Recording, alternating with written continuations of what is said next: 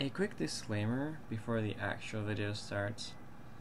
All the sexualities mentioned here, which are in total seven, aren't all of the sexualities. See, these aren't all the sexualities in total. There are many more. You may identify as however and whatever you wish to identify. There is no one stopping you from identifying sexually to whatever you want to identify. What you like is what you like. You don't let anyone else like what you like. As in, you don't let people dictate what you like. That's what I meant. Anyway, guys, hope you enjoy the video.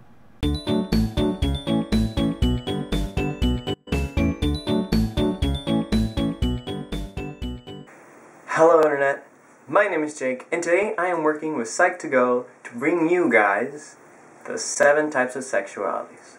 And no, I don't mean as in what you identify as, like you're saying you're a butterfly, but in reality you're a moth. No, I mean would you identify as in sexual attraction.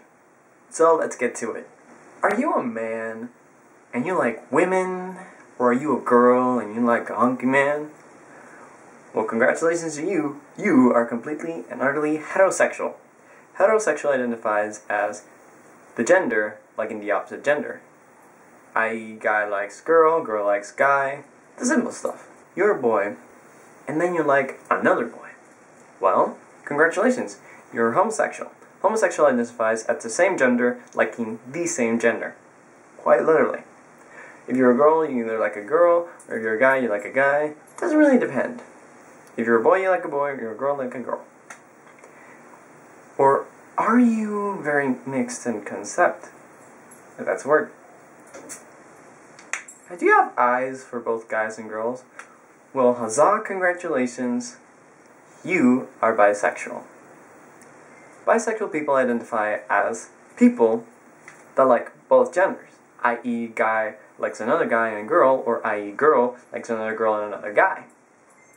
It's very fun with that kind of situation because you can simply say there are no differentials, there's only targets. Jumping down from that to something that involves no sexual attraction, if you're a person that doesn't like no gender or simply doesn't like people, I'm not talking about people that are depressed or whatnot. I'm talking about people that just don't like sexually anyone then, in my opinion, sorry, but in the general opinion, congratulations, you are asexual. Asexuals are people that identify as people that do not like any gender whatsoever and do not have any sexual attraction to anyone. Jumping to the next one, we have polysexual.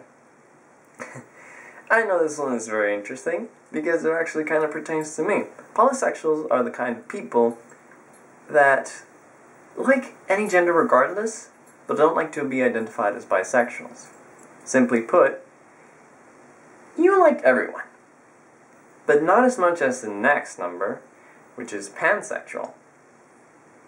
Pansexual people are people that like people regardless of gender or sexuality. and interestingly enough, there are plenty of those people around us today. An example of these kind of people is a friend that will kiss anyone regardless. And finally, we have the transsexual. Do you feel like you're something you're not supposed to be?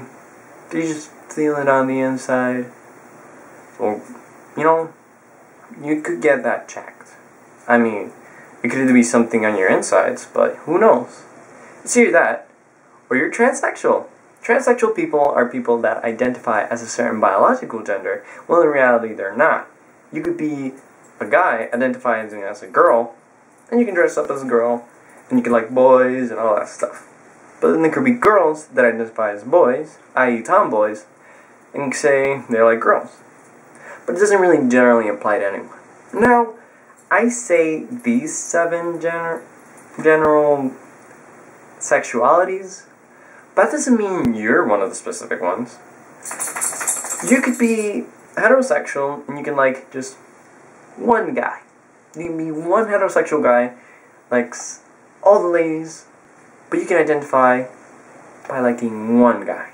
Doesn't necessarily make you bisexual or pansexual, just simply that you like that one guy.